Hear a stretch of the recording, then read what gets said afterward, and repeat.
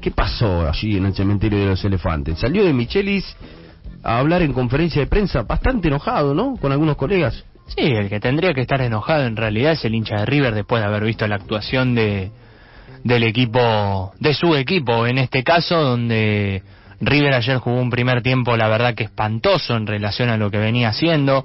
Rápidamente a los siete minutos de partido ya estaba perdiendo 1 a 0 en, eh, en una pérdida en la salida. Casco que obviamente para mí tuvo un partido, la verdad que lastimoso realmente, el, lateral izquierdo ex Newells, que, que bueno, eh, fue desbordado por, por el sector derecho, incluso, bueno, David Martínez jugando con que capaz le podía dar el pase a Battaglini al medio, dejó que Bota piense y obviamente es el mejor jugador de Colón y terminó poniendo obviamente la pelota en un ángulo bárbaro, el gol de Ayer Rubén de Bota, eh. tremendo, Ah, fue la figura del partido. Creo que es uno de los jugadores eh, más importantes que tiene esta liga profesional. Fue ¿eh? la figura sin dudas del partido. Después River logra empatarlo con, con un gol que, bueno, obviamente es protagonista el arquero chico de Colón. Obviamente se reclamó una falta, pero él se choca con su propio compañero. Bien Borja, ¿eh? Y Borja, que bueno, que, Bien. que estaba olfateando el gol en este aspecto. Y bueno, terminó marcando el 1 a 1. Después el 2 a 1 llega por un penal de Milton Casco, en este caso, que la pelota le pega en la mano, para mí evitando el gol de Colón,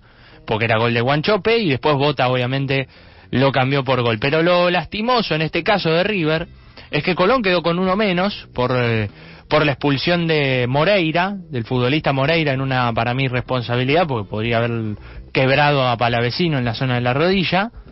Y River jugó todo el segundo tiempo con uno más y encima para colmo encontró el empate. Encontró el empate en la primera jugada del partido en un gran pase de Nacho Fernández que tuvo para mí un buen partido después de mucho tiempo. Borja empata el partido y con uno menos River no supo ganar el partido. Y lo peor de todo es que de Micheli viene y dice, no es una excusa, pero procede a dar una excusa. No es una excusa, pero la cancha estaba seca. Bueno. Escuela Almirón. Sí, yo creo pensé que lo mismo.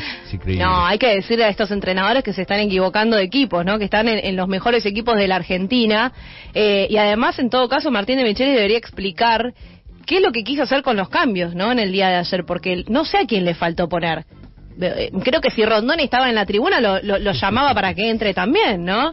Me parece que termina, River termina jugando en cancha con Lanzini, Colidio, Borja, Suárez, Piti Martínez, Solari. Digo, ¿a qué, a qué estaba jugando River? No, la verdad que, que no se entiende. Dos Eh, enganches y cuatro delanteros. No, es, Increíble, digo, un David Martínez que hace un año, un año exacto, porque la última vez que jugó fue el 16 de octubre del año pasado, cuando se fue Marcelo Gallardo, la última vez que dirigió Marcelo Gallardo, un año que no jugaba David bueno, Martínez. su último partido en el ciclo Gallardo, entonces, ¿no? Bueno, es, es increíble lo de Martín de Michelis. Eh, y uno no quiere matarlo a de Michelis como sale a decir Brito. Se mata solo. Se mata solo, porque yo creo que lo único que le salva, lo único que lo puede salvar a este técnico es los dos clásicos que ganó. No, no. No. Lo único que lo salva a este técnico es que Boca pierda la Copa Libertadores de Coincido América. con Alan, coincido Sí, bueno. totalmente A con este Alan. técnico lo salva eso, nada más, ¿eh? Bueno, lamento Sí. decirle de Micheli que, que no va a pasar eso. Bueno, está bien. Bueno, en diciembre tendrá creo que una reunión importante entonces para ver cuál es su No, continuidad. no lo para mí, no puede salir a... mm, Brito, no Brito- puede sacar al técnico Brito. El presidente... No puede. Sí, sí. O sea, él puede hacerlo. Puede hacerlo, El pero- tema es que no lo va a hacer. No, Ese es el tema. Porque pero por un capricho. Necesita un capricho. empleado. No, porque... Necesita un porque le empleado. el pulso a este presidente. Le tiembla el pulso. No es un presidente con, con experiencia. Vos también No. hablabas de que Pero para, Martín no. de Micheli no tiene experiencia, pero Yo creo- el presidente tampoco. Yo creo que no, no es que no tiene yo creo que no es que no le tiembla el pulso, para mí es al contrario, para mí el, el lo que piensa Brito, Brito lo está pensando en un modelo de empresa, él es el dueño y de Michelis es un empleado.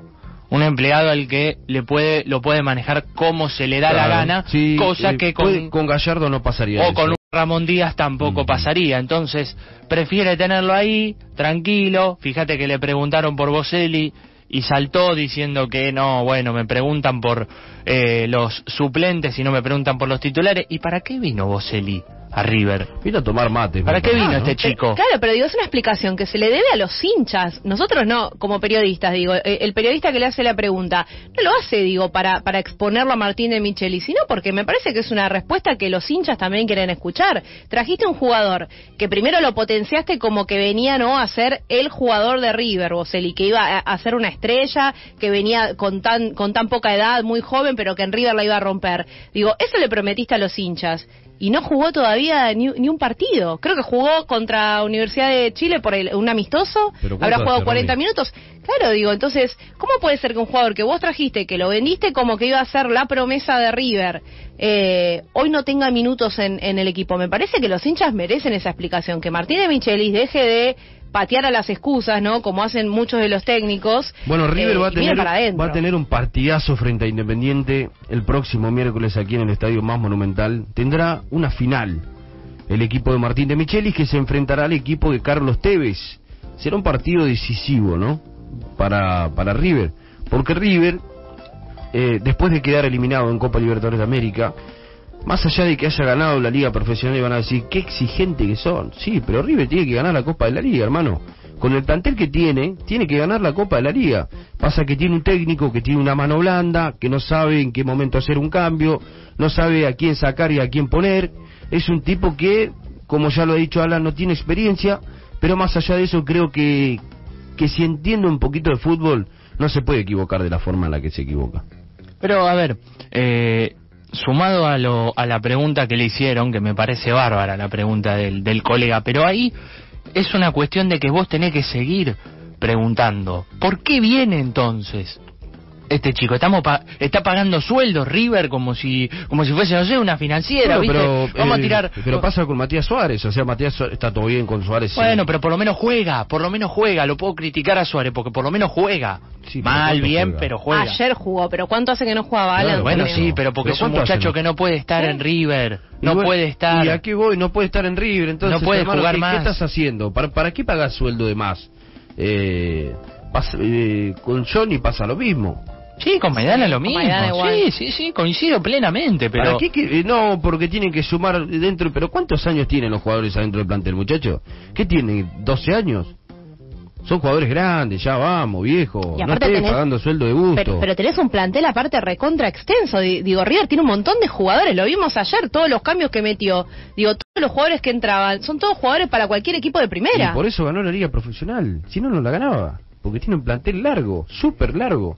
Mirás eh, los demás equipos y no tiene el plantel que tiene River, Romy. No, ni el recambio, digo. No Ayer- tiene no, recambio. Ayer lo de River- tienen recambio. ayer lo de River fue vergonzoso porque jugaste contra un equipo que está peleando el descenso Claro. y con uno más durante todo el segundo tiempo. Fuiste una vergüenza ayer. Y ganó, a ver, River ganó, además eh, se le complica, digo, como visitante, ganó dos partidos de 16 nada más de visitante.